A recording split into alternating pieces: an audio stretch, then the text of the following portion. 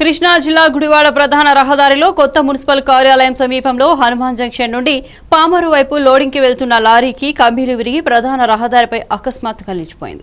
దీంతో రహదారిపై traffic jam అవడంతో పోలీసులు సకాలంలో స్పందించి ట్రాఫిక్ను క్రమబద్దీకరించారు క్రమబద్ధీకరించారు. వాహనదారులు పాదాచారులు ఇబ్బందులకు గురయ్యారు. ఎట్టకేలకు మధ్యాహ్నం సమయానికి లారీకి మరమ్మతులు చేసి లారీని తరలించారు.